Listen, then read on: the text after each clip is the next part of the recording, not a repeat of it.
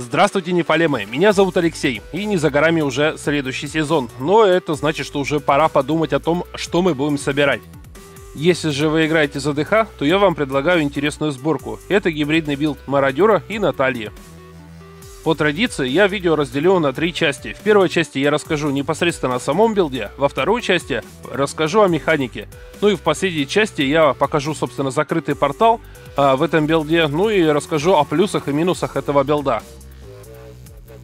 Первое, с чего мы начнем, наверное, с парагона. Ну, тут, э, собственно, долго останавливаться не будем, вкачано все, кроме живучести. Ну и давайте перейдем непосредственно к тем вещам, которые на мне одеты. Хочу сразу э, сказать, забегая вперед, э, что на мне одето три вещи мародера и пять вещей Натальи. Я буду показывать непосредственно сами вещи и о тех характеристиках, которые там должны быть. У меня далеко не самый лучший вариант, поэтому а, какие-то моменты я буду отдельно оговаривать. Но, разумеется, по традиции у нас а, в шапке должна быть а, ловкость, да, вероятность крита и урон от нашего основного навыка, в нашем случае это разрывная стрела. Никаких других альтернатив здесь быть не может. Разве что вот э, вы могли заметить, что вставлен желтый камень на уменьшение затрат ресурсов, который раньше, по-моему, даже нигде не использовался. Это все связано с тем, что разрывная стрела, а наше основное атакующее умение, требует очень много ненависти. Ну и, в общем, как-то нужно эту потребность э, удовлетворять, да, ну, в нашем случае просто снижать. Что касается плечей, у меня не самый лучший вариант. Э, самый лучший вариант был бы ловкость, да, а живучесть, урон от турелей и обязательный навык уменьшения затрат ресурсов. Все по той же причине, что разрывная стрела очень много кушает. И последняя вещь мародера, которая на мне одета, это перчатки, да? Ловкость, живучесть, крит и вероятность крита. В принципе, все хорошо, за место живучести разве что может быть э, уменьшение затрат ресурсов. И вот мы потихоньку добрались уже непосредственно до сета Натальи. Итак, э, что касается брони, в принципе, ее достать не так уж и сложно, да, потому что в броне, ну какие тут могут статы быть, да? Ловкость, живучесть и урон от турелей. За место живучести может быть э, сопротивление, да, к стихиям, но лучше, чтобы это была именно живучесть. Легендарные наручи, не побоюсь этого слова, потому что очень часто используются в различных билдах. Конечно же, как и в любом другом билде, здесь обязательно а, стихийный урон, да, а тот, который мы используем, ловкость, живучесть и вероятность крита. Не менее легендарный пояс, который часто используется а, ДХ именно в билде мародера, который позволяет нам а, увеличить нашу выживаемость. Самыми лучшими параметрами будут ловкость, живучесть, а, сопротивление, ну и процент здоровья. Ну и, конечно же, тот э, бонус, который мы получаем, лучше достичь максимального показателя, это 9%. Штаны Наташки также легко, в принципе, достаются, потому что здесь нету каких-то замысловатых параметров, ловкость, живучесть и сопротивление к стихиям. За место сопротивления может быть э, броня, но это чуть похуже вариант. Как вы могли заметить, что в броне, что в штанишках а, вставлены а, камни на сопротивление стихиям. Это очень важно, потому что а, я позже покажу, да, что у нас нету пассивки на выживаемость, и дополнительная выживаемость нам, а, собственно, не помешает. Вот мы добрались и до ботинок. Ловкость, живучесть, сопротивление и урон от разрывной стрелы. Нашего основного атакующего умения. Я намеренно упускал бижутерию, о которой мы поговорим сейчас. В качестве основного сета используется бесконечный поход. Амулет у меня второй по лучшести, который может попасть, потому что самое лучшее это а, урон от холода, в нашем случае, да, крит и вероятность крита. А, дело в том, что у меня нету таких показателей, поэтому у меня, скажем так, второй по лучшести, который может попасть, это ловкость, крит и вероятность крита. В качестве камушка используем головорез. Это увеличивает урон от наших турелей. Следующим экземпляром нашей бижутерии будет колечко Натальи ловкость, крит и вероятность крита. Это тоже второй по лучшести вариант, который может попасть. Самый лучший вариант это единица урона, крит и вероятность крита. В качестве камушка используется Зеев камень, который увеличивает урон в зависимости от расстояния до целей. Ну а так как у нас билд именно дальний, то это будет самый хороший вариант. Следующее кольцо, а, на которое я буду постоянно сетовать в различных билдах, потому что оно мне попалось очень плохое, и лучше я выбить, э, собственно, не получается у меня, да, это Роза Ветров. Так же, как и с кольцом Натальи, самые лучшие варианты там единица урона, крит, вероятность крита. Но все-таки запаситесь большим терпением, если все-таки надумаете а, в кубе реролить это кольцо, потому что а, крайне тяжело выбить именно хорошее, да, там. А, поэтому запаситесь, как я уже сказал, не только терпением может, да, еще куча ингредиентов. Что касается камня, это проклятие пленных, которое увеличит урон по законтроленным. Но дело в том, что у нас билд э, такой достаточно хороший в плане контроля, поэтому э, даже не стоит переживать, смело берите этот камень и будет вам счастье. Пока я не перешел к оружию и колчану, я хотел бы сказать а, такую небольшую ремарку. Чем хорошо гибридные билды? А, в том плане, что если, допустим, вам а, тяжело выбить какие-то перчатки, да, вам попались, э, ну, к примеру, хорошие перчатки Натальи, вы можете, допустим, взять а, перчатки Натальи, да, а броню мародера, или наоборот. То есть, э, чем хороши гибридные билды, что их э, вот в этом плане проще собирать, что вот, допустим, я, э, ну, как бы у меня не было хороших шмоток Натальи, да, я сразу для себя отметил, да, что броню, в принципе, э, штаны и ботинки достать не так уж и тяжело. Ну, какие здесь статы, да, то есть здесь нету каких-то завихренных таких статов, допустим, как в перчатках, там куча статов, э, которые надо соблюсти. То есть у меня изначально, если хорошие перчатки мародера, то я уже подбираю вещи а, непосредственно те, которые легче достать. То есть имейте в виду, если у вас какие-то хорошие вещи есть, да, а, с Наташки, либо с мародера, одевайте их и э, собирайте именно те, которые вам не достают. Но, как я уже сказал, самое простое это вот броня, штаны, там, ботинки, да, то есть достать их не так уж и трудно. Ну и теперь давайте перейдем непосредственно к нашему оружию. У меня, в принципе, неплохой достаточно вариант. Единственное, что могут быть статы чуть получше. Как обычно, единицу урона старайтесь э, сделать так, чтобы были побольше. 10% а, э, к урону, а, ловкость. И последним навыком уменьшение наших затрат ресурсов. Что касается колчана, ловкость, живучесть, скорость атаки и вероятность крита. Это, в принципе, все понятно, все хорошо. А, за место урона по области лучше было бы затраты ресурсов. Но получилось у меня как получилось, да, то есть достать именно такой. Разумеется, процент от урона турели стараться, чтобы было по максимуму. Ну и в принципе на этом все. Мы с вами пробежались по вещам, теперь давайте поговорим о способностях. Отход под прикрытием с руной внимания. Э, именно с этой руной обеспечивается дополнительный контроль, а вы мне спросите, ну подумаешь урон от холода и что? Дело в том, что чуть позже мы рассмотрим куб Канаи, в котором вы увидите, что есть перчатки, которые а, дают э, шанс заморозить, да, при нанесении урона от холодом. Так что а, именно руна внимания, думаю, самая будет актуальная. Плюс еще хорошо то, что эта руна позволяет восстанавливать больше ненависти, что очень важно в нашем билде. Наше основное атакующее умение – разрывная стрела с руной водоворот.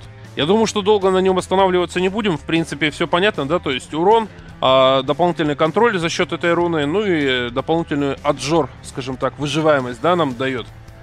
То есть есть варианты, когда ребята бегают э, в этом же билде, только используя огонь, но тут уже каждый смотрит для себя сам. Я непосредственно бегаю в холоде, поэтому рассказываю непосредственно об этом билде. Что касается питомца, вы можете поставить любую руну, потому что за счет сета мародера с нами бегают все зверушки. Это тебе тут и урон, и выживаемость, и отжор. В общем, я думаю, что долго на этом навыке останавливаться не стоит. Ливень возмездия. Хочу напомнить, что у нас э, собран частично сет Натальи. То есть, получается, после прожатия ливня возмездия у нас а, временно возрастает урон. Поэтому этот навык очень важен. Ну и плюс и за счет того, что здесь стоит холодная руна, она также дает дополнительный контроль. Северная турель также дает дополнительный контроль. Ну и, собственно, в сете мародера основное тоже ну, ладно. Разрывная стрела а, такая, скажем, а, первостепенная может быть, или может турель, в общем, неважно. С этим мародера, конечно же, играет роль как и турели, так и разрывная стрела, поэтому надо это учитывать и иметь в виду. Ну, что касается кульбита, конечно, используем сальто мортали для того, чтобы экономить как-то нашу концентрацию. Я думаю, что тут все понятно, да? Что касается пассивных навыков, я думаю, что тут все предсказуемо, как я сказал ранее, что у нас нет руны на выживаемость, поэтому мы в шмотках там ее набираем, да? Доработанные механизмы, чтобы наши турели стояли дольше, а, и их можно было ставить больше. Ну и, соответственно, три руны на урон. Теперь давайте поговорим о кубе Канаи. Куда же разрывная стрела без мантикоры, которая снижает затраты ненависти и увеличивает урон? Что касается перчаток, я уже немножко о них упоминал, которые у нас в кубе Канаи. Увеличенный урон от холода, а у нас, собственно, все от холода, да? И, и плюс еще шанс того, что, нанеся урон от холода, мы можем заморозить цель. Ну и кольцо королевской роскоши. Вишенка на торте в нашем билде, потому что, а, собственно, у нас три вещи мародера, да, которые объединяют в себя четыре как бы вещи за счет кольца. Ну и часть вещей Наташки. То есть пять вещей, а по факту получается шесть за счет э, кольца королевской роскоши. Ребята, в заключение хотелось бы сказать, что, разумеется, все вещи должны быть древние, да, и заколдесанены, то есть я думаю, что это понятно. Что касается банки, которую я использую, в общем, она восстанавливает ненависть, но, опять же, а, смотрите сами по своему вкусу, если вы привыкли к какой-то другой, то используйте на здоровье. Ребят, на Кормаке я долго останавливаться не буду, потому что он из билда в билд, просто я уже а, язык до мозоли стер, а, в принципе, все одинаково, да, то есть отхил там, контроль. Что касается реликвии, на выживаемость, громовуха на контроль, а, амулет на контроль, а, перстень ока. Создавать такую зону, да, в которой мы наносим дополнительный урон. Знак судьбы а, позволяет оглушить цель а, при нанесении урона от молнии, а это у нас громовуха. Ну, тоже как бы на контроль, да. Ну и щит тоже на контроль. Чтобы показать механику, я специально взял а, такую достаточно открытую, широкую карту, да, а, которая, собственно, нам а, под билд и подходит. Ну, собственно, ребята, как и в классическом мародере, а, мы должны ставить турели. В общем, передвигаемся, ставим турели.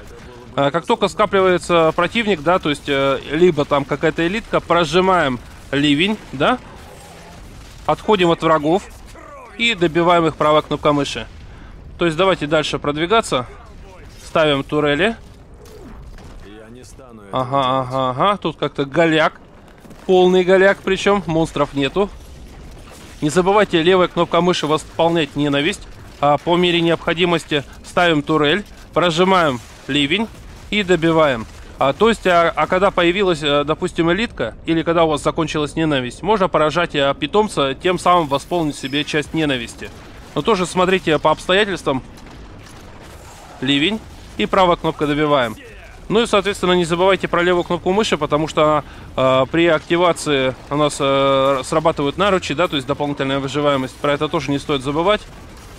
То есть э, все просто. Э, если раньше мы это прожимали возмездие, да, то есть сейчас э, прожимаем ливень. Опять бегаем, ставим турели, так вот. Ага. И добиваем правой кнопкой мыши. То есть ставим турели, ливень и добиваем правой кнопкой мыши. Что-то как-то здесь вообще не людно. Хотя, казалось бы, специально перешел на эту локацию, чтобы показать вам все. Но что-то как-то здесь народу мало. Но, в принципе, я думаю, что с механикой все понятно, да? То есть перемещай... О, элитка, наконец-то. С механикой, думаю, все понятно. Давайте ливень, волка и правая кнопка добиваем. Если вы собрали большую толпу монстров, как бы тоже прожимайте волка, да, восполняйте себе ненависть. Э, уничтожайте толпу противника, то есть это тебе сразу и урон, и восполнение ненависти, то есть и дополнительный отжор. Кидаем в них турель, ливень и правая кнопка добиваем. То есть механика, в принципе, ребят, незаурядная, да? Так что думаю, что с этой частью видео нет э, смысла долго затягивать. Ну и как я сказал в начале, последней частью моего видео будет закрытие великого портала. Весь портал я разглагольствовать не буду, а в последней части я хотел бы рассказать о плюсах и минусах этого билда. Давайте, наверное, сперва поговорим о хорошем. Этот билд достаточно выживаем. То есть зачастую мы можем ловить даже на высоких порталах какие-то плюхи, не пытаться от них увернуться, но опять же, надо тоже чувствовать, да, то есть вы побегаете, посмотрите, на что вы способны, так скажем, да. А, то есть от каких-то вещей, может, вам придется вернуться, от каких-то нет. Но по большей части все равно чувствуется, что вы выживаемы, а, бегаешь э, сухо и комфортно, да. Следующий пункт будет такой немножко гибридный, да, то есть как плюс, так и минус. Плюс заключается в том, что мы очень хорошо разносим противников на открытой локации. То есть ты поставил турели, там они лупят э, через пол карты, как бы все хорошо. Но в этом же кроется и минус. То, что вам нужно избегать каких-то коридорных локаций. Либо вот э, самое страшное, что может быть, это проход Корвуса или э, казармы. Когда вам надо в каждую комнату зайти, турели поставить, у них КД, в общем, и получается полная херня. В общем, ребят, если идете, скажем так, даже на личный рекорд, то, соответственно, избегайте таких локаций. Как я уже сказал, старайтесь бегать по открытым большим локациям. Что касается недостатка этого билда, их, пожалуй, два. Первый недостаток заключается в том, что сильно мы просаживаемся по ненависти. Если же, там, допустим, на фарме коробок тех же самых это будет не так сильно заметно, то, скажем так, в Великом Портале, когда приходится тратить кучу ненависти, это очень сильно чувствуется. Особенно, знаете, если вы играли в Пороке, то просадка такая дикая, да, то есть она ощущается. Второй минус может быть не настолько критичен, как и первый, но кому как, да? Он заключается в том, что билд этот размеренный, спокойный и медленный. То есть, если вы будете играть э, в открытой игре, там, бегать по нефалемскому порталу, а, может случиться такое, что вас как бы все обгонят, уже уйдут на следующий уровень, вы будете все плестись. Да и, пожалуй, даже пострелять вам толком никто не даст, потому что, э, не знаю, остальные классы могут просто врываться в толпу, уничтожать всех и бежать дальше, то вам надо поставить турели, пострелять, потом бежать. В общем, такой достаточно тягомотный билд для открытых игр, ну, не знаю, такой себе, да, скажем. Но для соло-порталов, для тех же коробок подойдет очень хорошо. В закрытии великого портала мне попались очень неудачные локации, как и последний босс, самый, наверное, такой жесткий, который может только попасть, а это Искату. Но, тем не менее, получилось закрыть с первого раза, чем я, в принципе, доволен. Обычно я говорю в конце, подписывайтесь на канал, но из-за того, что видосы по Диабле у меня выходят э, крайне редко, потому что у меня канал на Диаблу не ориентирован, да, поэтому просто скажу, если понравилось видео, ставьте большой палец вверх, ну и всего хорошего, позитива, удачи и пока-пока. Узрите мой гнев!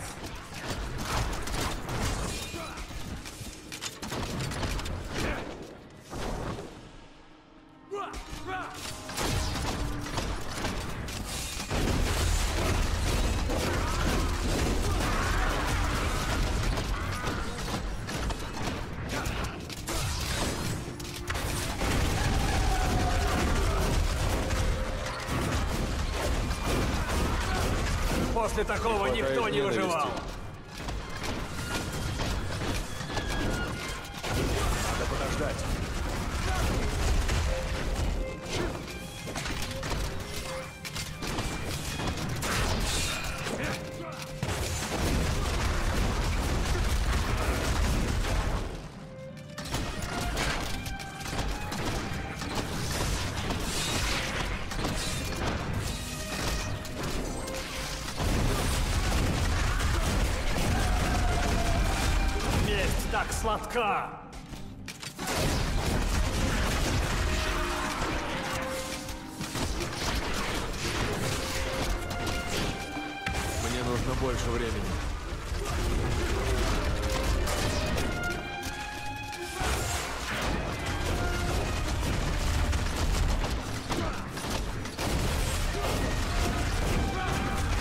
Я не стану этого делать. Кровью!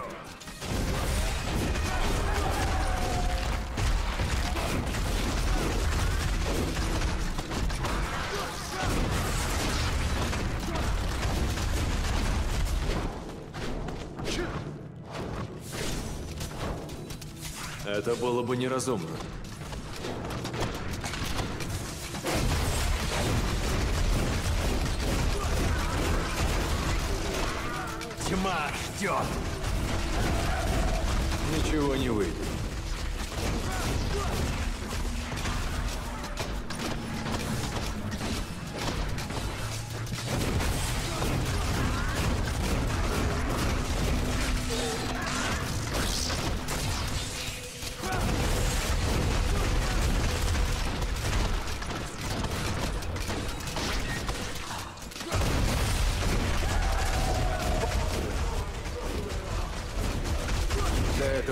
Больше ненависти.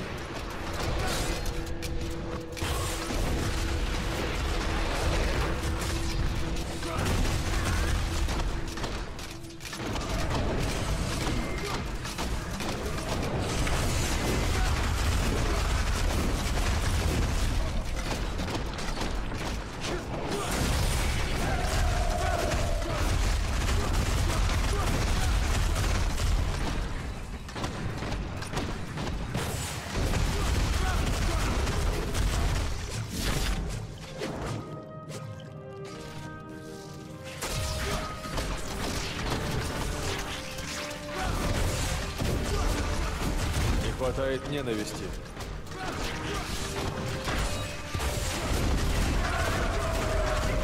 Вас выдает страх!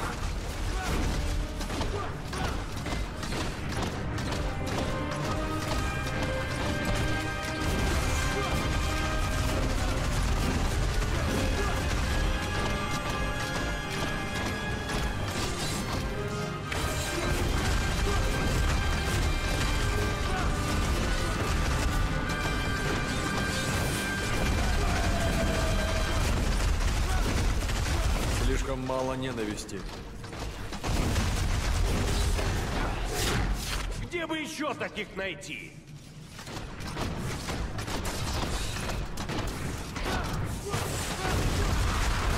Узрите мой гнев! Это было бы неразумно.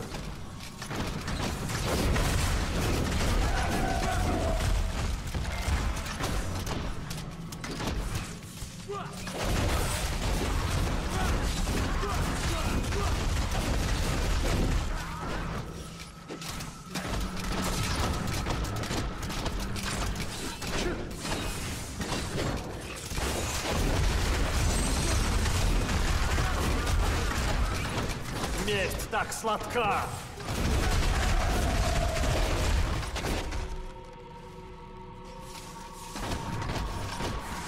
Ничего не выйдет.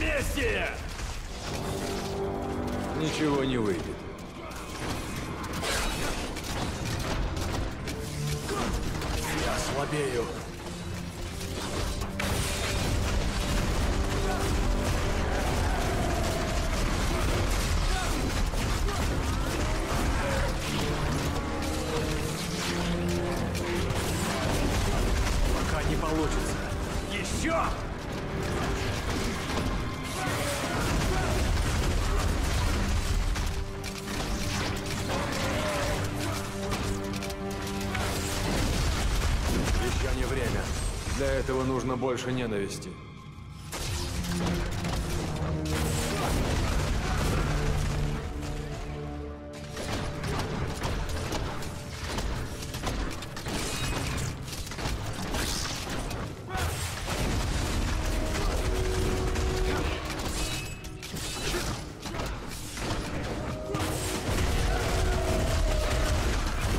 Это было только начало.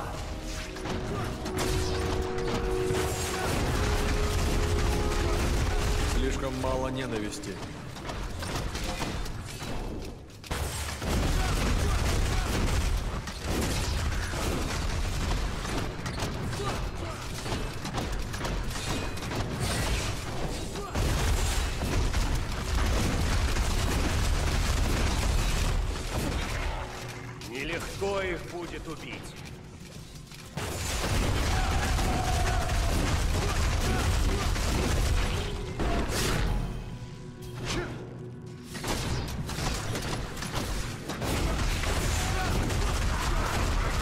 было только начало.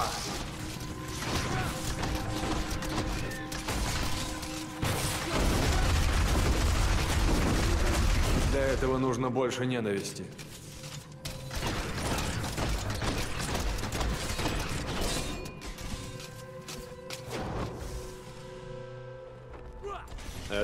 Бы неразумно.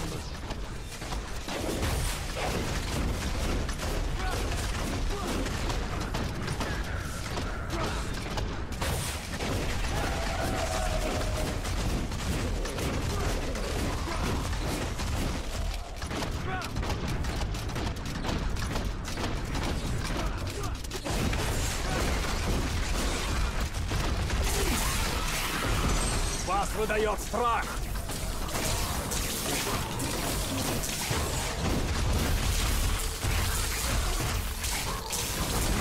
Надо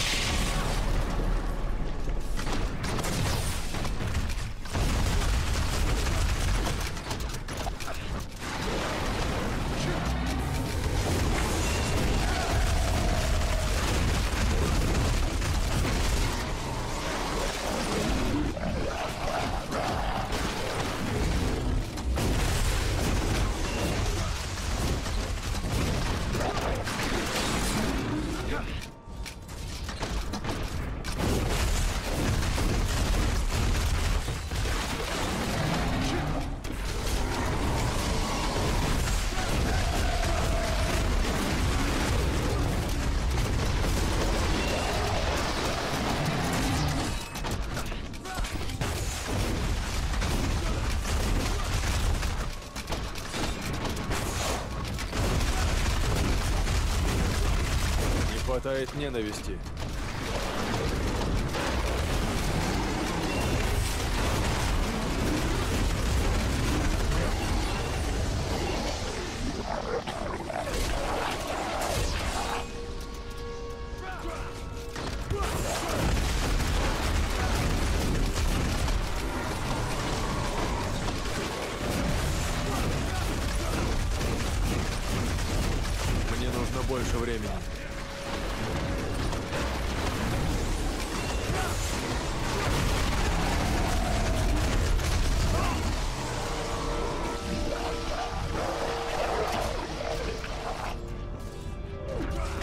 Я не стану этого делать.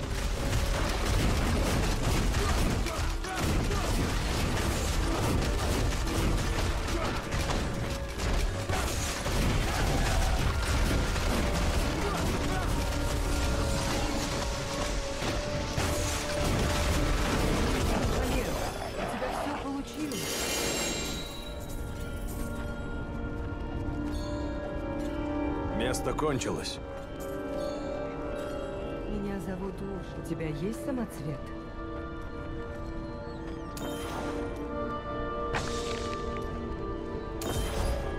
Я возвращаюсь в город.